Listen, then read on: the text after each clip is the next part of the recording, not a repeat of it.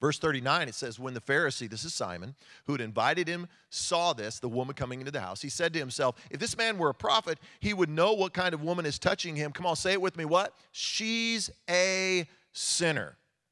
Like, have you ever gotten food on your teeth and you didn't know it? You know what I'm talking about? Like, and then later you're like, you looked and you saw it and you were like horrified, like, how long has that been right there? Like, why didn't somebody say this happened to Nick Jonas? I don't know if you saw the Grammys, but he just got blew up all over social media because he had food in his teeth. And man, everybody was talking about it and he kind of laughed it off. But what's crazy is he had an assistant that saw it before he went on stage and didn't say anything to him.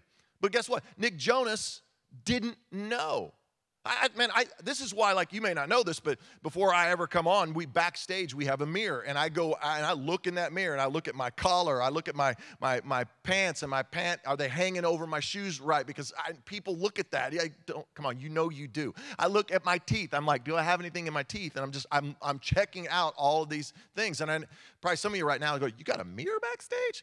You wouldn't believe what we have backstage. I've got a masseuse backstage. I've got a personal chef backstage. I got a stylist back there. I got a hot tub backstage. Come on, somebody. Every preacher needs a hot. I don't have any of those things. I got a mirror just so I can check. Listen, what we need to be doing every day is kind of looking in the mirror. It's so easy to see the sins and the faults of others and not see our own. Come on, that's happening in our nation right now. Everybody's doing it. We're all guilty. Turn to somebody and say, We're all guilty. Eh, we are. What, what do we do? Look at what they're doing. Can you believe they're doing that? They're wrong, I'm right.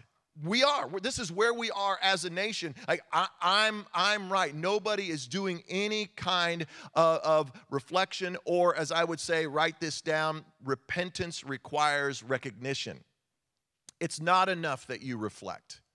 But repentance requires recognition. In other words, recognizing and coming to grips, not with somebody else's sin and faults, but coming to grips with my own.